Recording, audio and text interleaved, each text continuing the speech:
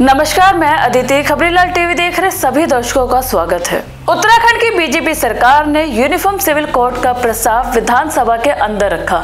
बहुत से लोगों ने बहुत सी बातें बोली, लेकिन सबसे ज़्यादा हँसी, जानते हैं मुझे किसकी बात पर आई और किसकी बात सुनकर ज़्यादा हँसी आई? हेमा मालिनी की। दोस्तों, एक पत्रकार ने हेमा मालिनी से संसद सत्र में संसद के बाहर सवाल पूछा कि, भाई, आपका इस यूसीसी ड्राफ्ट पर क्या ठीक है? आप क्या कहना चाहती हैं? तो हेमा मालिनी ने महिलाओं के अधिकारों पर बहुत सी बातें खुलकर बोली कि ये सभी वर्ग की महिलाओं के लिए बहुत ही अच्छा है, सभी धर्म की महिलाओं के लिए बहुत ही अच्छा है। अब आप कहेंगे दोस्तों कि इसमें हँसी वाली क्या बात है? हेमा मालिनी ने तो सही तो कहा है, बात तो ठीक भी है, लेकिन दोस्तों ये वही हेमा मालिनी है जिन्होंने अपने वक्त में केवल और केवल शादी करने के लिए हिंदू होने के बावजूद मुस्लिम बनकर शादी की थी।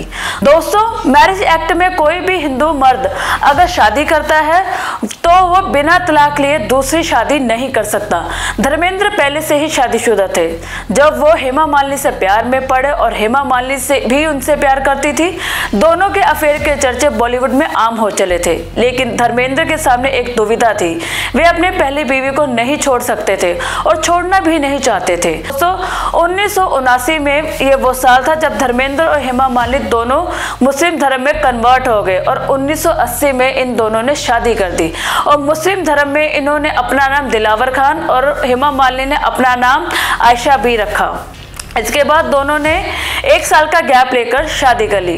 क्योंकि दोस्तों, हमारे देश में अभी भी मुसलमानों को एक शादी होने के बावजूद भी पहली बीवी को बिना तलाक दिए दूसरी शादी करने का अधिकार है। उस अधिकार का इस्तेमाल करके धर्मेंद्र और हेमा मालिनी ने शादी की। धर्मेंद्र और हेमा मालिनी की शादी अभी भी चल रही है और ये जो बात बोल रही है, वो बात लवबाजी की ही है। अगर आप धर्मेंद्र और हेमा मालिनी की second marriage type second marriage type करेंगे।